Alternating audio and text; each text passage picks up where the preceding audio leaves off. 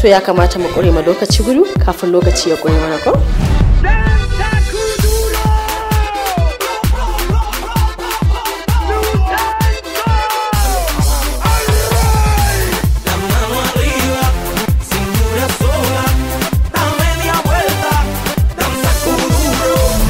Larabawa ke zuma ce ga zaki ga ɗimbin tarihi ga shi ba cutarwa. Matar ka kuma fa. Tuwon gabza ce. Akwai ta gidan kowane talaka larabawa to tackle the seemingly endless violence against women. The gallant, unshakable, and indefatigable, no limit soldier, General BMB at war front, firing strong warning. kiga me- me- menene number ɗakin ki aljanna Namiji a hannun mata. Zan iya samun guri in zauna? ba zama ba ko bacci zaki yi a gidan nan Ka ce har wanka sai na idan gaskiya na kwaso rana. Ni fa matar ka ce ta sunna. Me yasa ba za ka ringa biya min bukatuna ba kamar yadda shari'a ta tanada? fita fita na ce Akwai haƙƙin da Allah ya tanadar maka a kaina. kayan cece akwai shawarma akwai fried rice akwai white rice akwai burger akwai doya akwai tuwo. Da ke aka ce kullum za ki dinga cin tuwo zai hau miki kai zai gishe ki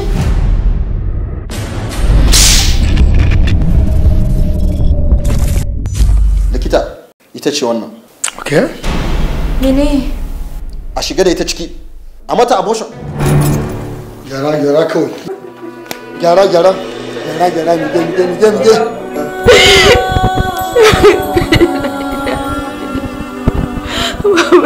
Namiji a hannun mata. Yanzu da ka sa ka bi wannan aboshin ya je lalata mahaifa ba. shikenan sai dai ki dinga wanke wanke kina samun ladan aure ko ba ka ba Namiji a hannun mata. ba abin da zai sa ɗauki yarinya in kai hotel bayan gani da gida tana iya yiwa mace ma matar aure ce Oga har matan aure baka ƙyale ba? ke auren naki ya mutu ne? Ni ma ai yau dogon biza na karɓa saboda na ce mijina zan yi night duty. night duty. Ko ba ka ba? Shiga ciki. Namiji a hannun mata. yarinyar kirki gani gare ki. Ai tsakanina da kai babu shamaki. There are two powers in the world. One is the sword and the other is the pen. But there is a third power, stronger than both. That is the power of a woman.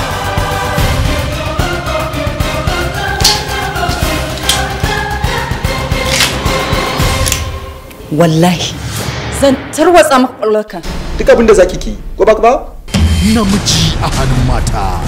ɗaya biyu uku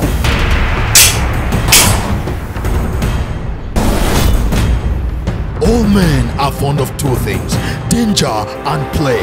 Unknown to men, woman is the most dangerous plaything ever. la ilaha illallah muhammadu amalalla mai fitsarin kwance ya tsula ya kuma tsula dsp mai fitsarin kwance Namiji a hannun mata. Official trailer Muhammad Rabi Muhammad. Assistant director Mukhtar Afakalla. Producer, executive producer No Limit Soldiers. Story written for the screen. Concept and directions Bello Muhammad Bello, General BMB. sunana justice hafsat atiku ni ce alkalin da zan saurari wannan shari'a kin san wannan mutumin eh na san shi ban taba ganin shi ba Eh na san shi. Ƙwarai na san shi. eh mijin ƙawata ce kun taba haɗuwa ke da shi kuka ci amanar ƙawarki a cikin ɗakin aurenta a gadonta na sunna Ya taɓa kani gidan nan mun yi zina da shi. Na san kuma yana da mata. dsp zan iya maka dandatsa kaga shi kenan baka da wani sauran amfani a duniya Torturing women is like drinking too much wine. It may be fun for a short time, but the hangover is hell.